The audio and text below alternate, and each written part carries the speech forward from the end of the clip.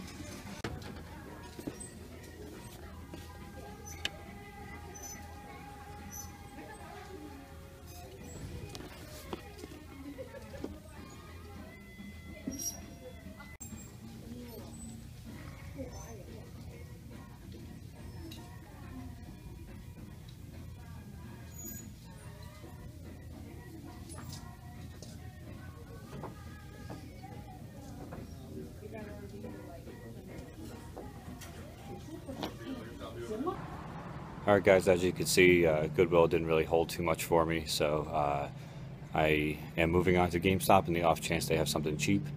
And uh, I'm going to take a look in there and then uh, go back to the game room. I did pick up a couple things at the first Goodwill. Um, just It just goes to show you why I stopped going to Goodwill because they really don't have that much. So I'm going to cut right now and go to GameStop.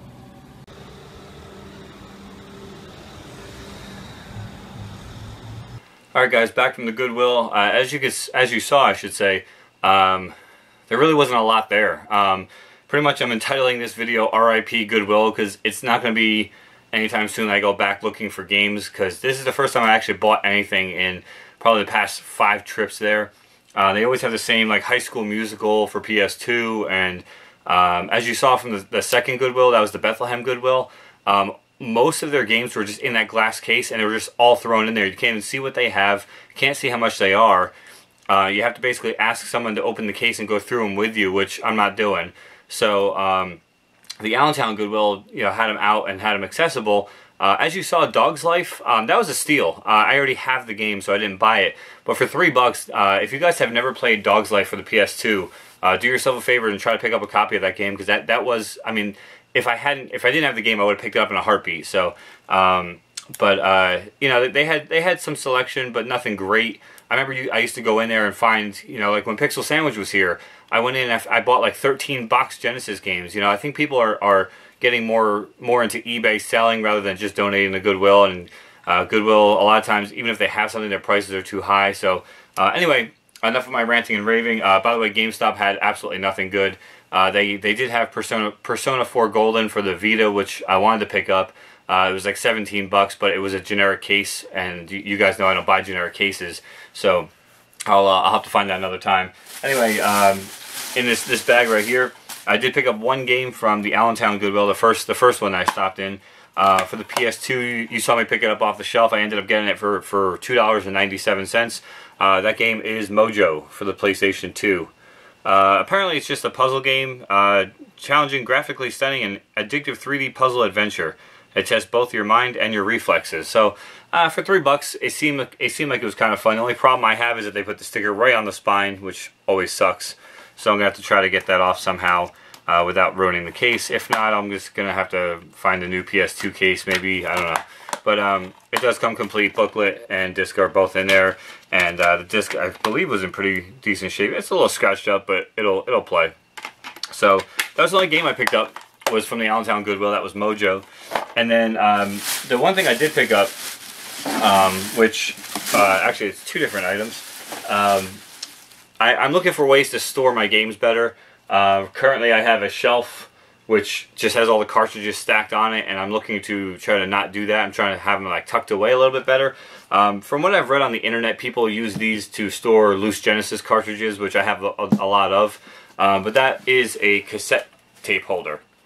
So, you know, the one that the drawer comes out, I'll, I'll take it out and show you. It has like the little ridges in there for cassette tapes. From what I've read on the internet and different forums and everything else, um, they are really good for storing your Genesis games. And being that they do have a top spine, you can put them in there, alphabetize them, and just pull the drawer out and pick your game out, and they're all nice and organized. Um, there's a second one in this bag here. It's identical to this one. But as you can see, I paid uh, $2 a piece for them.